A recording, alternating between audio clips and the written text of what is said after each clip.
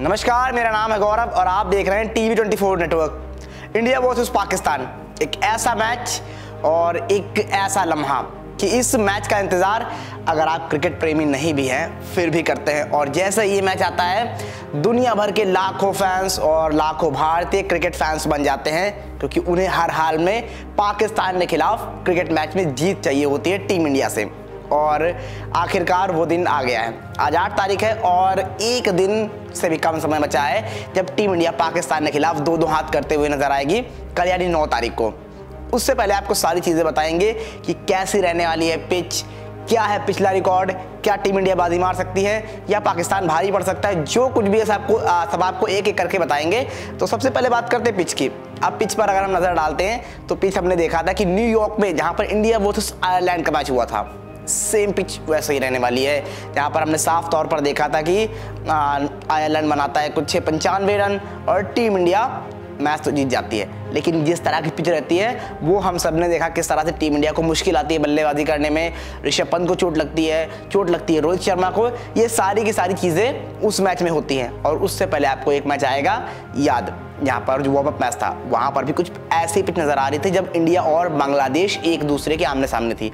और फिर उसके बाद एक और मैच आता है, जहाँ पर श्रीलंका और अफ्रीका सामने थी। श्रीलंका सिर्फ़ और सिर्फ़ सतहत्तर रन पर ऑल आउट हो जाती है।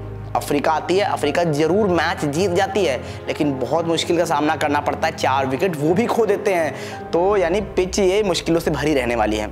लेकिन अब इस पिक पर फ़ायदा किसे होगा, नुकसान किसे होगा, ये बड़ी बात है। तो जब टीम इंडिया को हम देखेंगे तो जिस तरह से टीम इंडिया के गेंदबाजों ने गेंदबाजी की, चाहे अर्षदीप की बात करें, अक्षर पटेल की बात करें, बुमराह की बात करें या सिराज की बात करें वो आपको बहुत आत्मविश्वास देंगे कि वो इस पिच पर अच्छा ही करेंगे। लेकिन दूसरी ओर एक दूसरी टीम है पाकिस्तान, जो एक ठीक ठाक पिच पर खेल के आए हैं यूएसए से, लेकिन वहाँ पर भी नहीं जीत पाए।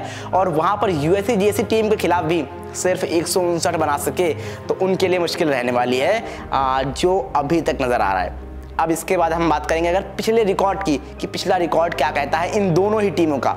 वर्ल्ड कप में खास तौर पर और टी ट्वेंटी वर्ल्ड कप में दोनों जगह जानेंगे ओडीआई और टी ट्वेंटी में क्या रहने वाला है हाल। तो अगर ओडीआई की हम बात करते हैं तो ओडीआई में आपको साफ़ तौर पर नज़र आएगा, टीम इंडिया ने आठ मैच खेले हैं और आठों में बाजी मारी है वर्ल्ड कप के अंदर।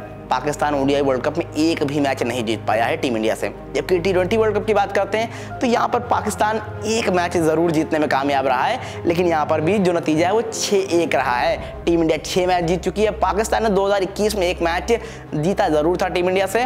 आ, लेकिन वो टीम इंडिया के लिए बहुत ख़राब दिन था। ना उस दिन बल्लेबाजी चली थी ना टीम इंडिया की गेंदबाजी चली थी और पाकिस्तान वो मैच दस विकेट से जीता था। तो अब जब टीम इंडिया कल उतरेगी इस मुकाबले के लिए आ, तो टीम इंडिया जो अपना कॉन्फिडेंस है वो कैरी ऑन करना चाहेगी जो लास्ट मैच में उन्होंने आयरलैंड के खिलाफ खेला था। तो वही पाकिस्तान पिछली हार को भुलाना चाहेगी। उनका आत्मविश्वास भी डामाडोल होगा जब आप यूएसए जैसी टीम के खिलाफ हार करा रहे होते हैं। तो अभी चाहे हम ऑन पेपर देखें या किसी भी तरह से देखें फॉर्म के आधार पर टीम इंडिया ही आपको ज़बरदस्त नज़र आ रही है। जिस तरह से कप्तानी कर रहे हैं रोहित शर्मा और रोहित शर्मा की फॉर्म भी वापस आ चुकी है। ये एक बड़ा फ़ायदा है टीम इंडिया के लिए जो कि आईपीएल में आउट ऑफ़ फॉर्म नज़र आ रहे थे।